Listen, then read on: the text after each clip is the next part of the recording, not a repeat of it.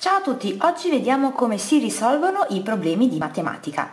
Partiamo con un primo esercizio. Il testo del problema dice questo. In un triangolo equilatero il perimetro misura 8,1 cm. Quindi tutte le volte che avete un problema dovete fare la figura e poi scrivere a fianco tutte le informazioni che vi vengono date. Per cui ho disegnato un triangolo equilatero, cioè un triangolo che ha tutti e tre i lati uguali e tutti gli angoli uguali. Questa informazione la scrivo a video facendo un segnetto uguale a tutti e tre i lati, così, e un segnetto uguale a tutti e tre gli angoli, così. Il perimetro si indica con 2P e il problema mi dice che vale 8,1 cm. Mi chiede quanto vale la lunghezza del lato, quindi ho scritto AB perché tanto i lati sono tutti uguali, quindi è indifferente. Se scrivevo BC o AC era la stessa identica cosa. Come si risolve il problema? Ragioniamo. Il perimetro si ottiene facendo la somma di tutti i lati, quindi questo lato più questo più questo. Poiché questi lati sono uguali è come dire che il perimetro è dato da AB per 3. Quindi se il perimetro vale 8,1, per poter trovare il lato basterà fare 8,1 diviso 3, cioè 2,7 cm. Come prova del 9 possiamo provare a vedere se abbiamo fatto bene, cioè Poiché abbiamo appena trovato che AB vale 2,7 cm, allora anche BC e AC valgono 2,7 cm.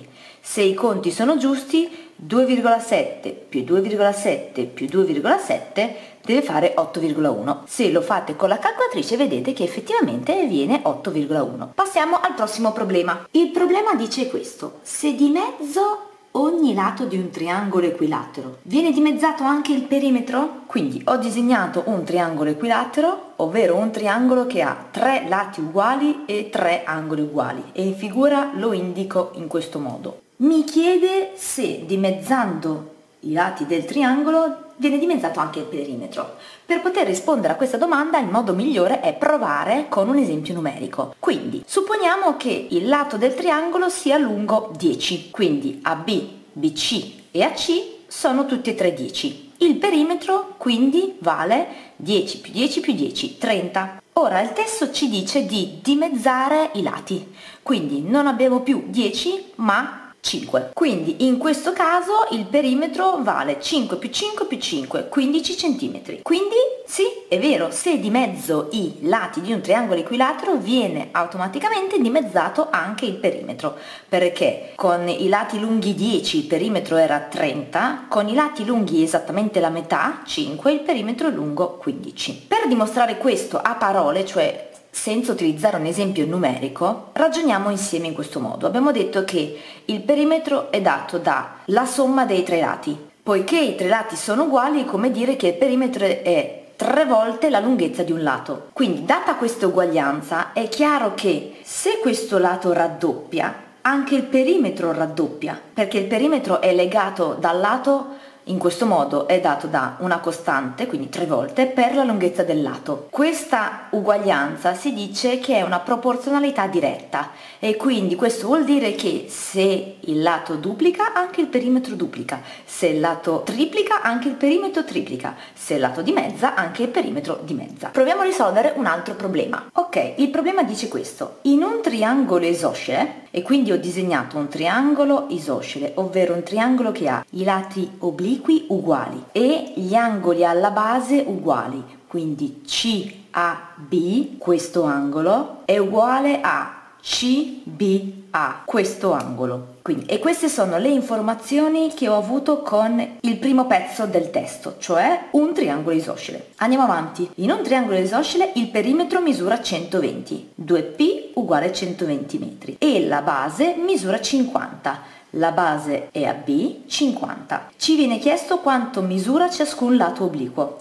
I lati obliqui sono uguali, quindi scrivo AC uguale punto di domanda. Come facciamo? Innanzitutto scriviamo le informazioni più possibili nella figura in modo tale da avere in maniera intuitiva già la soluzione. A livello numerico l'unica uh, informazione che abbiamo è questa che il lato è 50. Ora, l'altra informazione che abbiamo è che il perimetro vale 120. Noi sappiamo che il perimetro si trova facendo la somma di tutti e tre i lati. Ora, questi due lati per ipotesi sono uguali perché siamo in un triangolo isoscele, quindi per trovare il lato AC dovremmo fare il perimetro meno 50. Quello che otteniamo è la somma di questi due lati. Siccome io voglio trovarne uno dovrò fare diviso 2. Per cui scriviamo AC, il lato obliquo, è uguale a il perimetro meno la base tutto fratto 2, ovvero in numeri abbiamo 120 perché il perimetro è 120 meno il lato 50 fratto 2. 120 meno 50 fa 70, 70 fratto 2 35 metri. Pertanto questo lato e questo lato valgono 35. Se vogliamo fare la prova del 9 andiamo a ricalcolare il perimetro, quindi la somma di tutti questi tre lati se ho fatto bene deve fare 120. Ora 50 più 35 più 35 se lo facciamo con la calcolatrice effettivamente viene 120.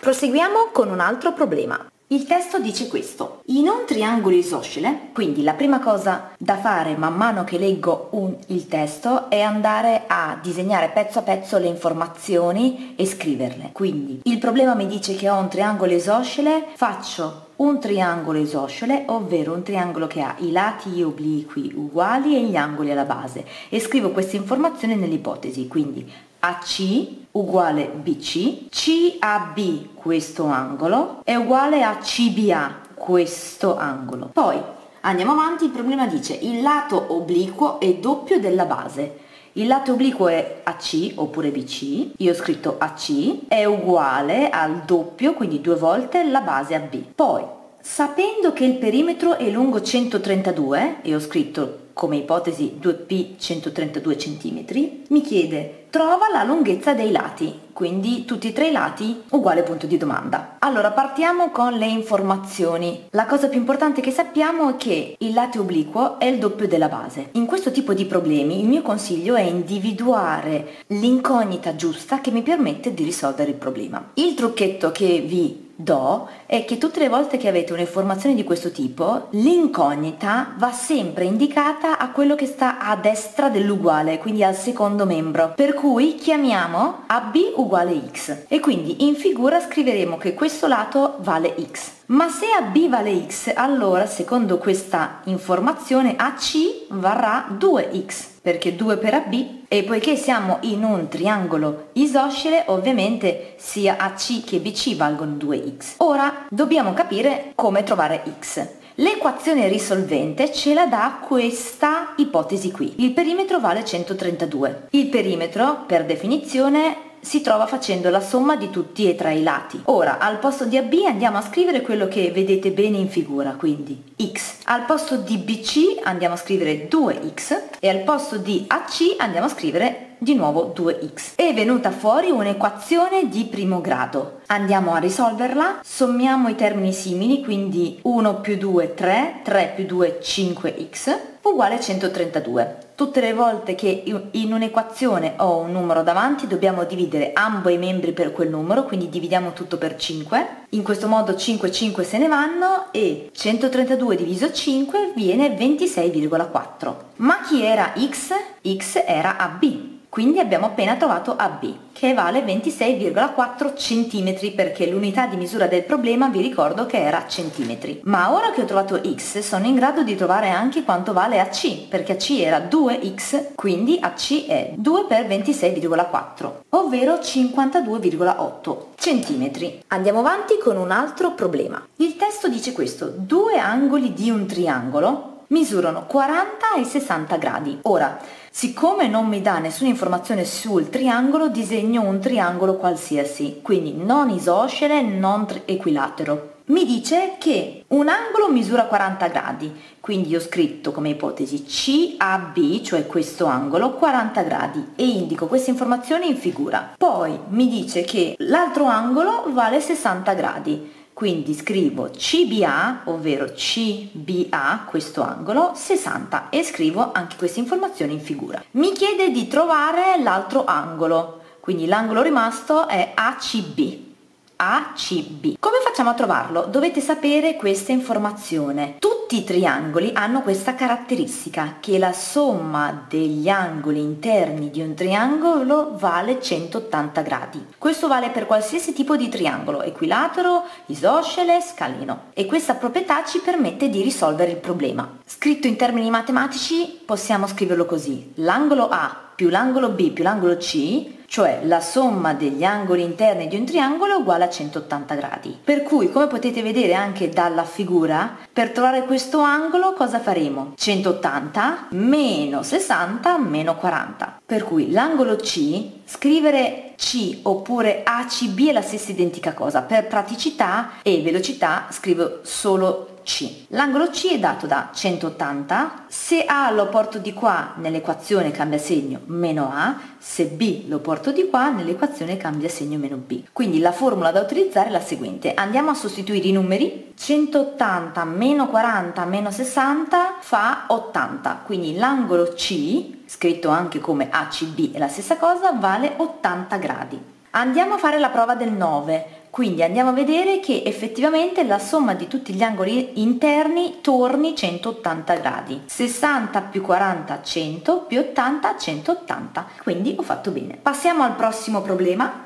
Il problema dice un triangolo isoscele, quindi mi fermo subito e scrivo le informazioni che mi derivano dal fatto che il triangolo è isoscele. Quindi ho disegnato un triangolo isoscele e ho scritto AC uguale a BC, cioè i lati obliqui sono uguali. E poi sappiamo che un triangolo isoscele ha anche gli angoli alla base uguali, quindi CAB, CAB uguale a CBA, CBA. Quindi queste due informazioni mi derivano dal fatto che ho un triangolo isoscele. Andiamo avanti con il problema. Un triangolo isoscele ha l'angolo al vertice di 20 gradi. L'angolo al vertice è questo, cioè ACB, e vale 20 gradi. Mi chiede di trovare la lunghezza degli angoli alla base, quindi gli altri due angoli l'angolo in A e l'angolo in B, ovvero CAB, CAB e CBA, CBA. Come facciamo? In qualsiasi triangolo noi sappiamo che la somma degli angoli interni fa 180 gradi, ovvero l'angolo A più l'angolo B più l'angolo C fa 180. Inoltre noi sappiamo per ipotesi che gli angoli alla base sono identici, cioè l'angolo in A e l'angolo in B sono uguali.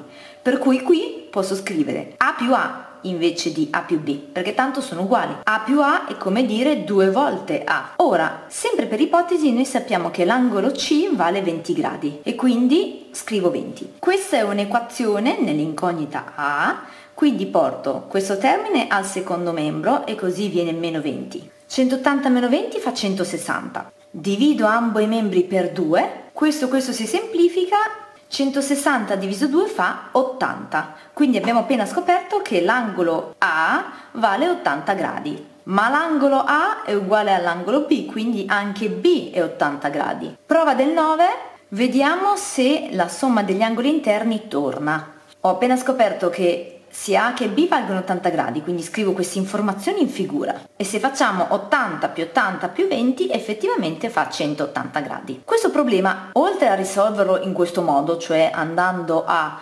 scrivere come equazione il fatto che la somma degli angoli interni fosse 180 gradi e poi risolverla nell'incognita, potevamo anche risolverlo più velocemente in questo modo, cioè io so che la somma degli angoli interni di un triangolo è 180 gradi. So anche che questi due angoli sono uguali, per cui questo angolo qui sarà dato da 180 meno l'angolo in C diviso 2, ovvero 180 meno 20, tutto fratto 2. 180 meno 20 fa 160. 160 fratto 2 fa proprio 80 come ci aspettavamo. Entrambi i modi vanno bene, scegliete quello che vi rimane più semplice per voi. Comunque sia, l'importante era ricordarsi questa proprietà fondamentale, ovvero che la somma degli angoli interni di un triangolo vale 180 gradi.